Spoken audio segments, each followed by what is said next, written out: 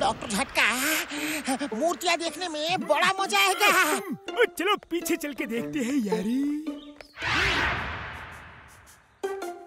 ओ यारो तुम ये क्या कर रहे हो यारी? बड़ी बाबा, मोटू तुम ये क्या कर रहे हो? अरे अब मैं बिज़ी हूँ बात नहीं कर सकता। मुझे कंसंट्रेट करने दो। मोटू मैं थोड़ी देर के लिए अंदर से होकर आऊँ। प्लीज़। नहीं नहीं, पतलू, नहीं। जब तक मेरी मूर्ति बनकर तैयार नहीं होती, तब तक तुम कहीं नहीं जाओगे। मुझे फुरफुरी नगर का बेस्ट मूर्तिकार का अवार्ड जीतना है। मैं तुम्हारी ऐसी मूर्ति बनाऊँगा, जिसे देखते ही लगे कि अभी बोल पड़ेगी। हाँ पतलू, जाना नहीं।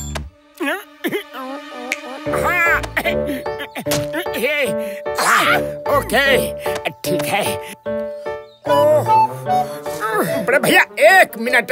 मैं पानी पी के आता हूँ। पतलो हिलना मत हिलना मत।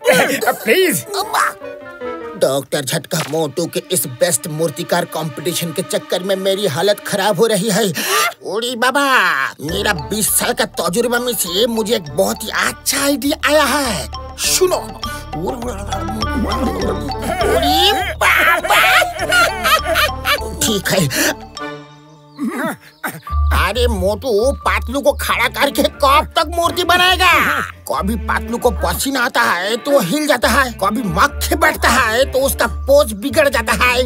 घसीटा राम तुम ही बताओ मैं क्या करूँ? तुम अपना आँख बंद करके पतलू का इमेज इमेजिन करके मूर्ति बना हम गारंटी देता है सबसे बेस्ट मूर्ति बनेगा।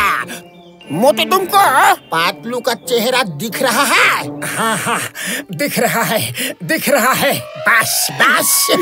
तो फिर मन की आँखों से तुम फील करो अनुभव करो और मूर्ति बनाते रहो।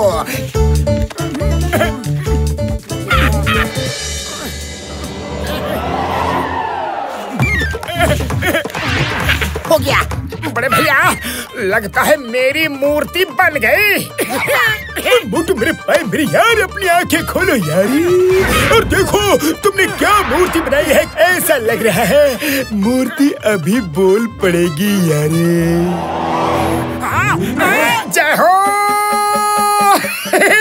बड़े भैया, सच में मन की आँखों से देखकर मैंने मूर्ति बनाई है तो क्या मूर्ति बनी है? चलो, इसे तो पूरे फुरफुरी नगर को दिखाना पड़ेगा।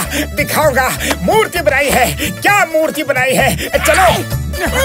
घसीटा मैं तुम्हें छोड़ूँगा नहीं।